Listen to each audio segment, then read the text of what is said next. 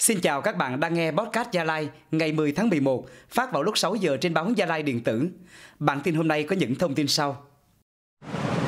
Ông Nguyễn Văn Đông được bổ nhiệm làm Cục trưởng Cục Hải quan Gia Lai Con Tum. Krongpa xử phạt một người điều khiển xe ô tô dương tính với ma túy. Bộ Y tế tập huấn điều trị chăm sóc hivs và quản lý thuốc ARV cho cán bộ y tế Gia Lai. Gia Lai, một gia đình trẻ người Gia lai được biểu dương gia đình trẻ tiêu biểu toàn quốc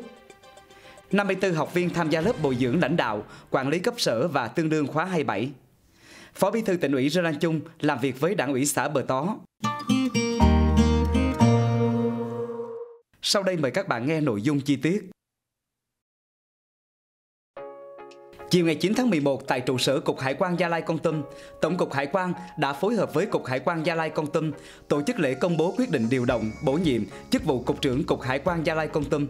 Ông Nguyễn Hữu Quế, Phó Chủ tịch Ủy ban Nhân dân tỉnh đã dự lễ công bố và tặng hoa chúc mừng. Theo quyết định số 2623 QĐTCHQ của Tổng cục trưởng Tổng cục Hải quan, bắt đầu từ ngày 10 tháng 11 năm 2023, ông Nguyễn Văn Đông, Cục trưởng Cục Hải quan tỉnh Bình Định, được bổ nhiệm có thời hạn làm Cục trưởng Cục Hải quan Gia Lai Công Tâm. Tại buổi nhận nhiệm vụ mới, ông Nguyễn Văn Đông hứa sẽ nỗ lực cầu thị, cố gắng hoàn thành tốt nhiệm vụ được giao, cùng với cán bộ Cục Hải quan Gia Lai Công Tâm thực hiện các giải pháp nghiệp vụ thu ngân sách hàng năm đạt và vượt chỉ tiêu được giao tạo sự đoàn kết nhằm tạo sự ổn định và phát triển của đơn vị.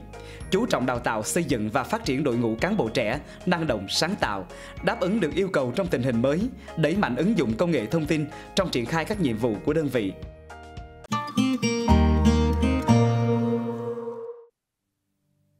Ngày 8 tháng 11, đại diện đội cảnh sát giao thông công an huyện Krongpa tỉnh Gia Lai cho biết, đội vừa lập biên bản xử phạt một nam tài xế dương tính với ma túy khi điều khiển phương tiện tham gia giao thông.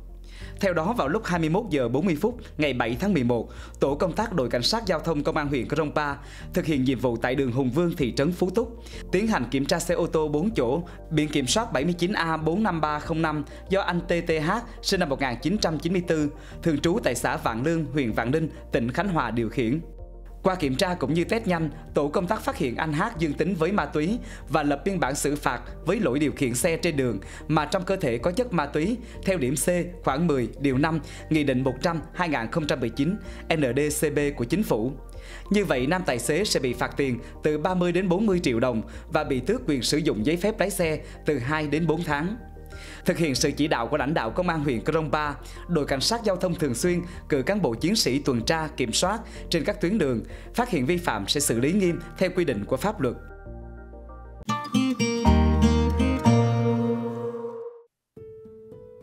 8 đến ngày 10 tháng 11 tại thành phố Pleiku, tỉnh Gia Lai, Cục Phòng chống HIV/AIDS, Bộ Y tế phối hợp với Trung tâm Kiểm soát Bệnh tật tỉnh Gia Lai tập huấn hướng dẫn điều trị, chăm sóc HIV/AIDS và công tác quản lý thuốc ARV cho trên 50 học viên là bác sĩ, dược sĩ, điều dưỡng trực tiếp tham gia công tác điều trị HIV/AIDS và quản lý thuốc ARV tại các đơn vị trực thuộc Sở Y tế. Các học viên tham gia lớp tập huấn được giảng viên Cục Phòng chống HIV/AIDS phổ biến các kiến thức về diễn biến tự nhiên của HIV/AIDS, xét nghiệm chẩn đoán HIV, chẩn đoán sớm nhiễm HIV ở trẻ em và kết nối điều trị thuốc ARV, điều trị thuốc ARV cho phụ nữ mang thai, phụ nữ sau sinh và điều trị dự phòng lây truyền HIV từ mẹ sang con, chẩn đoán quản lý điều trị nhiễm trùng, lậu chlamydia, màu gà, giang mai, quản lý động nhiễm viêm gan trên nền HIV. Bên cạnh đó, các học viên được cập nhật các kiến thức về điều trị dự phòng lao và điều trị lao tiềm ẩn ở người nhiễm HIV, HIV tiến triển và bệnh da và niêm mạc ở người nhiễm HIV, đánh giá và hỗ trợ tuân thủ điều trị thuốc ARV, theo dõi chẩn đoán và xử trí thất bại điều trị, điều trị phát đồ bậc 2, bậc 3, cập nhật hướng dẫn các quy định về lập kế hoạch, điều tiết, báo cáo thuốc ARV, quy định về tiếp nhận, quản lý và sử dụng thuốc ARV của Quỹ toàn cầu.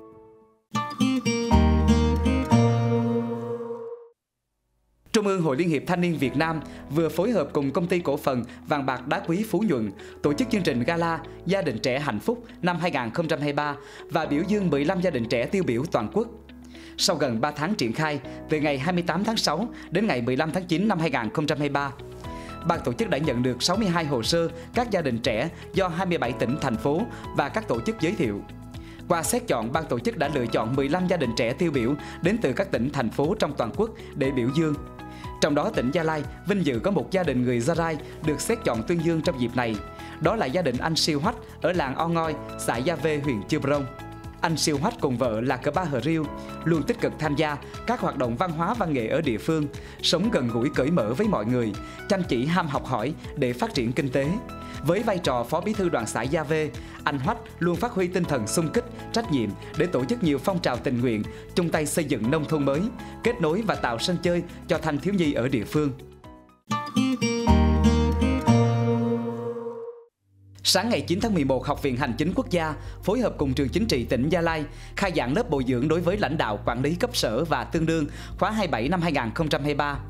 Từ ngày 9 tháng 11 đến ngày 15 tháng 12 năm 2023, 54 học viên là lãnh đạo cấp sở được tiếp thu các chuyên đề tổng quan về lãnh đạo quản lý cấp sở, phân cấp phân quyền trong hành chính nhà nước, kỹ năng tổ chức kiểm tra, thanh tra ngành, lĩnh vực ở địa phương, kỹ năng quản lý nhân sự, kỹ năng quản lý tài chính và tài sản công, kỹ năng xây dựng phát triển văn hóa công vụ, kỹ năng phát triển quan hệ truyền thông, kỹ năng ban hành và tổ chức thực hiện quyết định hành chính nhà nước.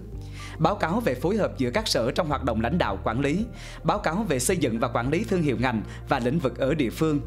Tất cả các học viên của lớp bồi dưỡng sẽ tham gia nghiên cứu thực tế, làm bài kiểm tra trước khi kết thúc khóa học.